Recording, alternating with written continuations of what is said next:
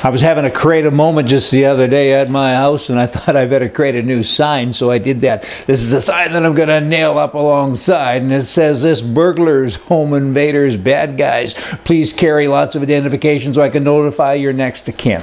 hey, just saying, in Arkansas, the governor there now has said, hey, it's law from here on in that you can carry a gun to protect your life and the lives of other students if you go to university. It's a brand new law. Have a nice day. And he's signed it. Whoopie doo. That's a good thing. And now he's joined the ranks of um, several other states Colorado, Utah, Wisconsin, Mississippi, Oregon, Texas, and Idaho. Kansas is coming up here shortly. And a lot of guys are getting with the program. And, and again, it's about time because good guys don't do bad things. And you know what? You got to broaden the opportunities for concealed carry. And, and uh, bad guys now, they look around and say, oh, oh, should I do a bad thing? Because that girl over there could have a gun in her purse and that guy could have one in his pocket. And it's about time is our turn. Hey, hey. Now, illegals are crossing the border now into Canada by the hundreds every day.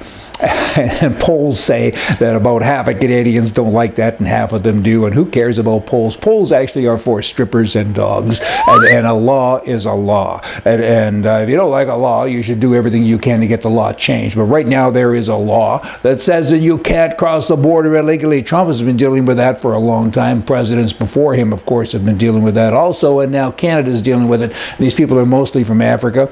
Uh, Mexicans now are starting to come up as well. And they're saying, this is great. I got this open door so I can come in as soon as I step across the border. They'll look after me. They give me money, a check, and a shirt, and it's not very nice. I mean, that's big problems uh, that are coming. Safety, uh, financial problems, all of these things that are just bad. And the Liberal government in Canada, they're saying that's all right. Just let them come in, and we'll talk to them, and we'll give them a, you know, make them a pie and have a love fest, and, and that's wrong. And and again, back to this poll that says half of Canadians are okay with it. I don't buy that. I just don't buy that for a minute because the lawmakers have a law in place in Canadians just saying, hey, do we want to adopt all these people? I mean, come in properly like everybody else. Fill out the bloody form.